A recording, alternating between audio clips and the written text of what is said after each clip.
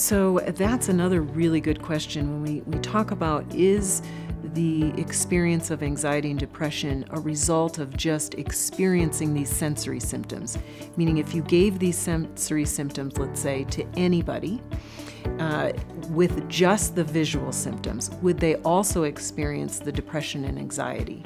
And that is not an easy answer, but I do have a, uh, an opinion about that as a clinician scientist and as a clinician.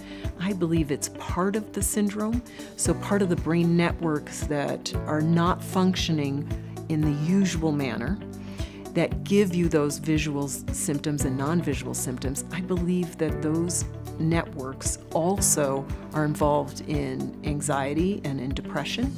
And those are really a result of the brain network dysfunction and not just a response to having visual snow throughout your your visual field and having all these other uh, visual symptoms associated with that.